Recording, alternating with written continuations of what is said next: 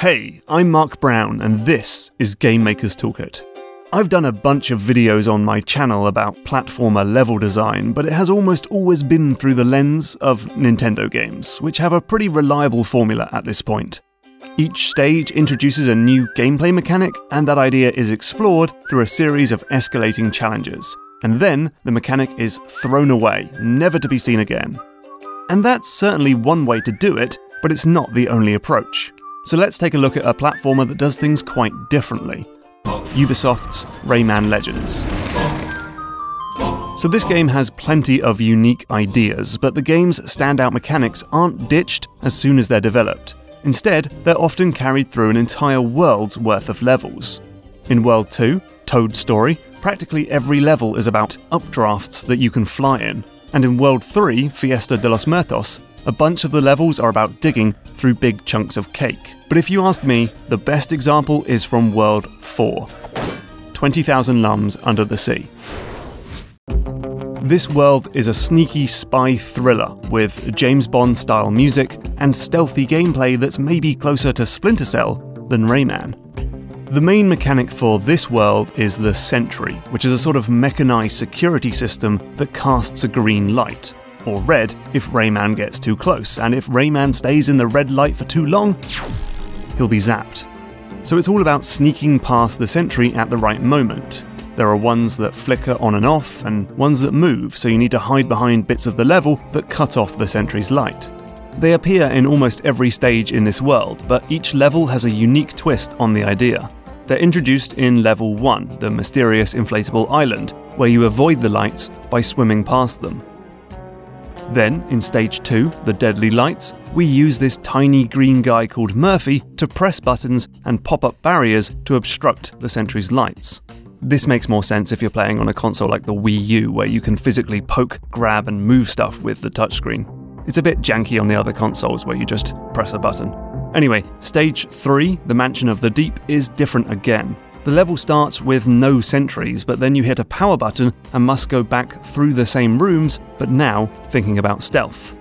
Level 4, Infiltration Station, brings back Murphy, but now you have full control over the level as you move bits of the stage to create cover and even move the sentries themselves. And then in level 5, Elevator Ambush, the sentries are still present, but the stealth gameplay takes a bit of a backseat to a more action packed fistfight against these new frogmen enemies. Because obviously, there's more to this world than just one mechanic.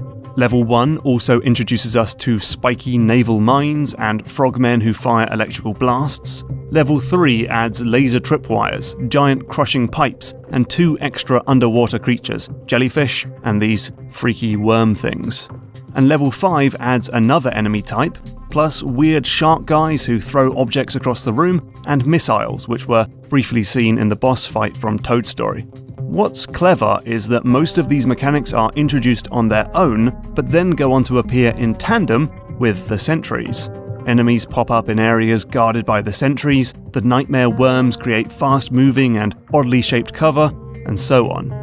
And then, after five stages of build up, all of these ideas come together in the sixth stage. There's always a bigger fish, which is a manic, fast paced chase sequence that uses almost every mechanic we've seen so far.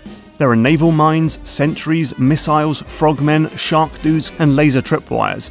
And yet, it's totally doable, simply because the game has spent a lot of time carefully building up this vocabulary of different mechanics.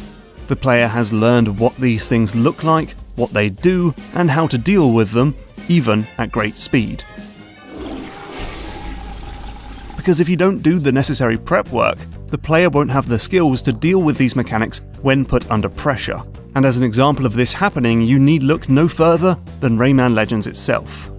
The game's got these brilliant musical stages at the end of each world, but for whatever reason, they often have slightly different mechanics to the rest of the levels, mechanics which haven't always been fully established.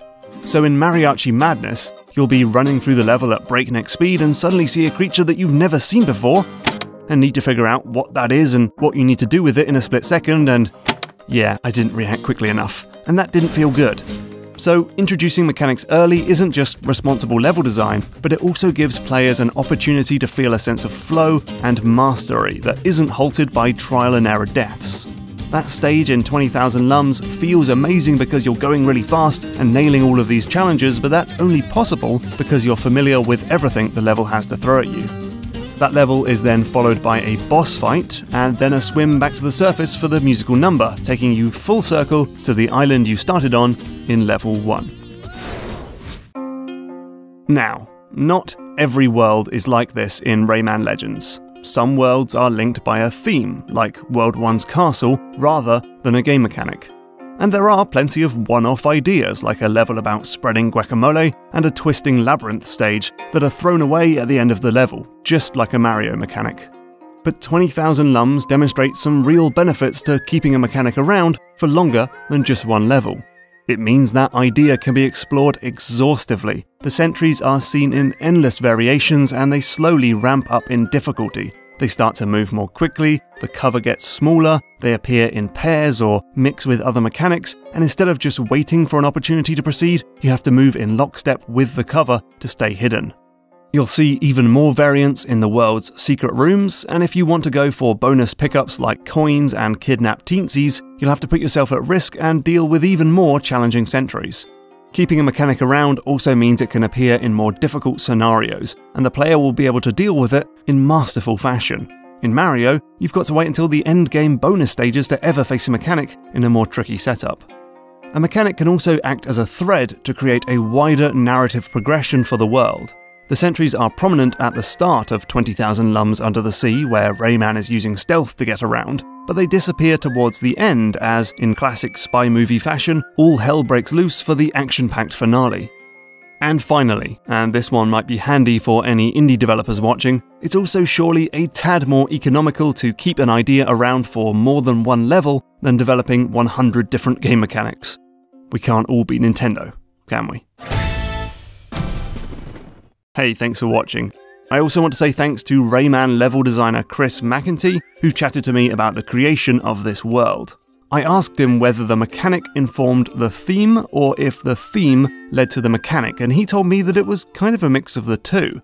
The gameplay team was prototyping the Sentry, and the art team did some Jules Verne style underwater artwork, and these came together for a world about sneaking through an underwater base.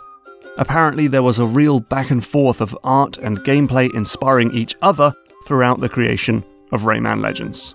Chris is now working on the Ori and the Blind Forest sequel, meaning I'm even more excited about that game.